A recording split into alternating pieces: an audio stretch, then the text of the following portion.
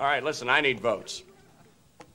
Apparently, quitting the Senate and rollerblading naked with RuPaul wasn't enough to secure the Slacky vote. but that's okay. That's all right, because I'm willing to go the distance to build your confidence in me.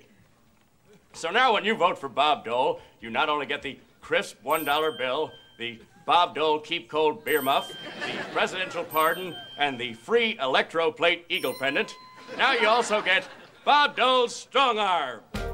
The Bob Dole strong arm. All the uses of a regular arm and more. It's like having three arms.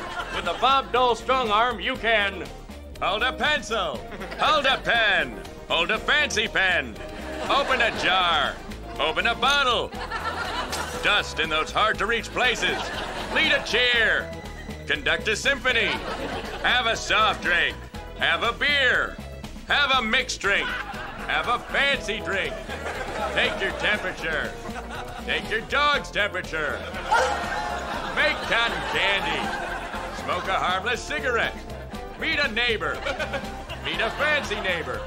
Tennis, anyone? I, I don't even know what that is. Give me five. Call out bingo numbers. Bust a nut. What's that on your shirt? Gotcha. Play the piano. Play the guitar. Play the bongo. Pull my finger. Well, you asked for it. That's a spicy meatball. Huh? What? Ta-da! Go fish. Go fish. Ta-da! Both. See? I'm pretty handy to have around. Handy, get it? Well, you better. Bob Dole's strong arm. If it's good enough for Bob Dole, it's good enough for America.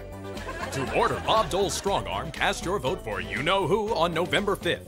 Offer void for illegal immigrants. Arm yourself, America. Paid for by the Committee to Elect Bob Dole.